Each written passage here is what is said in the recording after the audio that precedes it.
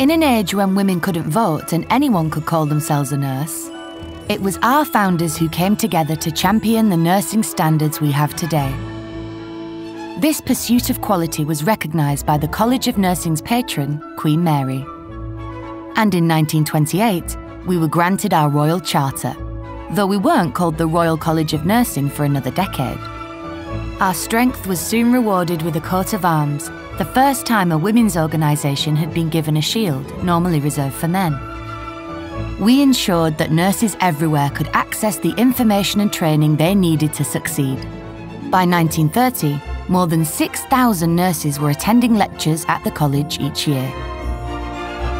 In the 1980s, we began helping nursing students to qualify with degrees, and our groundbreaking research changed the way we care for our patients.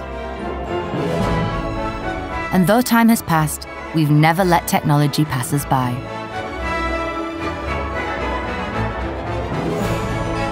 Even before we became a trade union in 1976, our aim has been to protect our members and make sure they're treated fairly.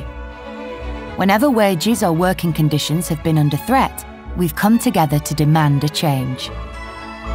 Whether it meant improving the working conditions of private nurses in the 1930s, or negotiating on behalf of NHS practitioners and independent sector staff, we have a long history of campaigning to make a difference for our members. Gradually, our membership expanded to include nursing staff from all across the UK in all areas of nursing and grew to include men and healthcare support workers. As our branch structure grew, so did our membership. We now have the strength of 425,000 voices. And every year at RCN Congress, individual members make themselves heard. Every day for more than 60 years, our stewards, safety reps, and learning reps have helped members in their workplaces. And since 1998, RCN Direct has been there for members with issues in the workplace and questions about nursing practice. What started with a few determined founders is now a community of dedicated nurses, midwives, healthcare support workers, and students all using their unique expertise to make a difference in patients' lives, every day and every night. It is their professionalism, their innovation, and their spirit that directs the RCN today. We've spent the past 100 years driving nursing forward, and we won't stop now.